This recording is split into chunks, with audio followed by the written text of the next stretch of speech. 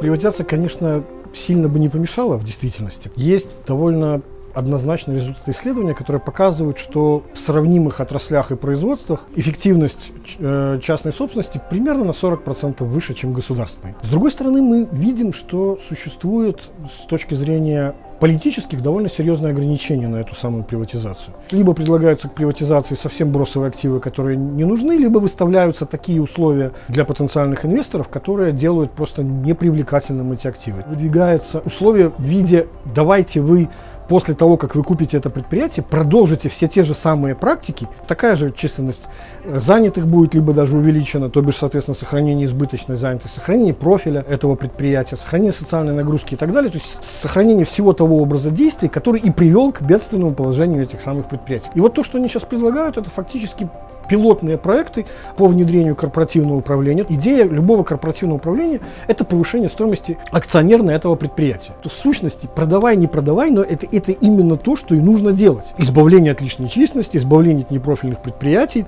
и повышение как бы, качества управления. То есть, грубо говоря, э, управленческие решения в Совете директоров должны принимать те, чье благосостояние конкретно будет зависеть от качества этих решений. То есть суть заключается в том, что государство никогда не готово на конечный результат, но оно может быть готово на выполнение постепенных шагов. С самого начала есть политические ограничения, ну, они, они вне экономические, к сожалению, это так, это, это совершенно очевидно. И до тех пор, пока существует представление о том, что мы можем сделать все то же самое, только государственными руками, то есть мы можем также эффективно управлять, как и частник, а раз мы можем так же, то зачем продавать? Скорее всего, это иллюзия. Давайте попробуем пройти этот путь, и мы поймем, что действительно в конечном счете окажется, что все-таки продажа оказывается выгодной. Но это уже будет результат конечный, а не сразу идеологический.